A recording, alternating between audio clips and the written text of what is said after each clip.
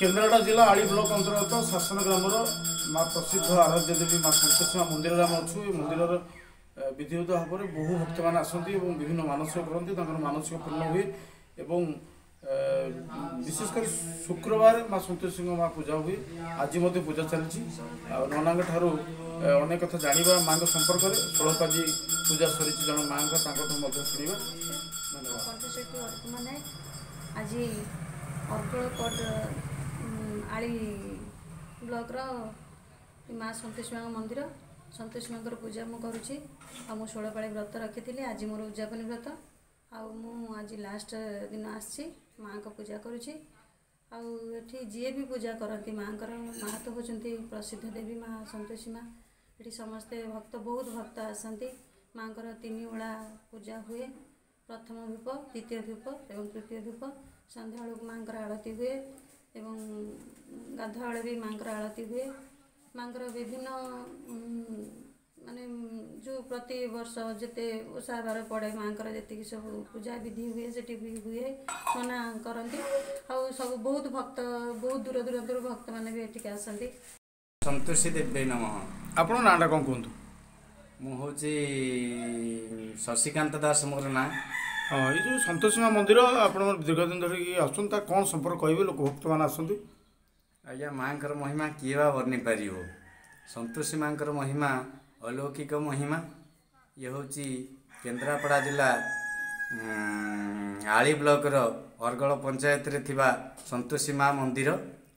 ଆଉ ଏ ମନ୍ଦିରରେ ଦୈନନ୍ଦିନ ପ୍ରାୟ ବହୁ ଭକ୍ତମାନେ ଆସନ୍ତି।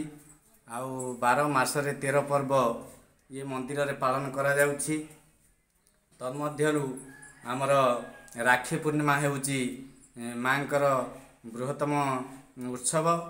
ଆଉ ରାକ୍ଷୀ ପୂର୍ଣ୍ଣିମାରେ ପ୍ରାୟ ଶହ ଶହ ଲୋକ ଏ ଜାଗାରେ ଉପସ୍ଥିତ ହୋଇ ମାଙ୍କର ପୂଜା ଅର୍ଚ୍ଚନା କରନ୍ତି ଏବଂ ଅନ୍ୟ ଦିନମାନଙ୍କରେ ମଧ୍ୟ ପୂର୍ଣ୍ଣିମା ହେଲା ସଂକ୍ରାନ୍ତି ହେଲା ଅମାବାସ୍ୟା ହେଲା ଅନ୍ୟାନ୍ୟ ଯେକୌଣସି ପର୍ବପର୍ବାଣିରେ ପ୍ରାୟ ଭିଡ଼ ଲାଗି ରହିଥାଏ ଏମିତି ବର୍ଷ ଯାକ।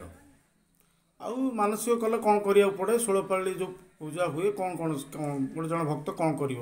ଷୋଳପାଳି ଏଠି ମାଙ୍କ ପାଖରେ ମାଙ୍କର କିଛି ଏଠି ପୂଜା ଅର୍ଚ୍ଚନାର ବିଶେଷ ଆବଶ୍ୟକତା ନଥିଲେ ମଧ୍ୟ ଶ୍ରଦ୍ଧାରେ ଗୁଡ଼ ଚଣା ଏବଂ ଗୋଟିଏ ସମ୍ପୂର୍ଣ୍ଣ ଭାବରେ ମନ ଖୁସିରେ ନଡ଼ିଆଟିଏ ଦେଇକି ମାଙ୍କର ପାଦ ତଳେ ସମର୍ପିତ କଲେ ଏଠି ସକଳ ମନଭୀଷ୍ଟ ମା ପୂର୍ଣ୍ଣ କରିଥାନ୍ତି। ଏମିତି କିଛି ପୂର୍ଣ୍ଣ ହେଇଥିବାର ଗୋଟେ ଉଦାହରଣ? ପୂର୍ଣ୍ଣ ଆଜ୍ଞା କ'ଣ କହିବି? କନିକାର ଜଣେ ସ୍ତ୍ରୀ ଲୋକ ଆସି ଏଠି ପହଞ୍ଚିଥିଲେ। ତାଙ୍କର କୌଣସି ପୁତ୍ର କିମ୍ବା କନ୍ୟା ଏମିତି ହେଉନଥିଲା ବହୁ ମନ କଷ୍ଟରେ ଆସି ପହଞ୍ଚି କହିଥିଲେ ନନା ମୁଁ ଆସିଛି ବହୁତ ବଡ଼ ଆଶା ନେଇ ଏଠିକି। ମୁଁ କହିଲି ଆପଣ ବସନ୍ତୁ ଏଠି କ'ଣ ହେଇଛି କ'ଣ ନାହିଁ ବୁଝିବା ସେ ଆସି କହିଲେ ନନା ଆମ ଶାଶୁ ବହୁତ ଗାଳିଗୁଲଜ କରୁଛନ୍ତି। ଆଉ ମୋର ପୁଅ କି ଝିଅ ହେଉନାହିଁ ବୋଲି ସେମାନେ ମୋତେ ବହୁତ ଖରାପ ପାଉଛନ୍ତି ଘରେ। କିନ୍ତୁ ମୋ ରୁମ ଟାଙ୍କୁରି ଉଠିଥିଲା ଯେ କି ମାନେ ଇଏ ମନ୍ଦିରରେ ମାଙ୍କ ଦରବାରରେ ଇଏ ମା ଜଣେ କାନ୍ଦି କାନ୍ଦି କହୁଛନ୍ତି।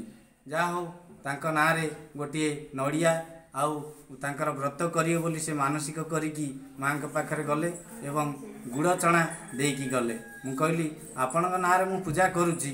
ଯଦି ସମ୍ପୂର୍ଣ୍ଣ ହୁଏ କିମ୍ବା ଆପଣଙ୍କର କିଛି ଇଏ ମାସ କିମ୍ବା ଦୁଇ ମାସ ଭିତରେ ହୁଏ ମୋତେ ଜଣେଇବେ। ଫୋନ୍ ନମ୍ବର ନେଇଥିଲେ ଆଜ୍ଞା। ସେ ମୋତେ ଜଣେଇଥିଲେ।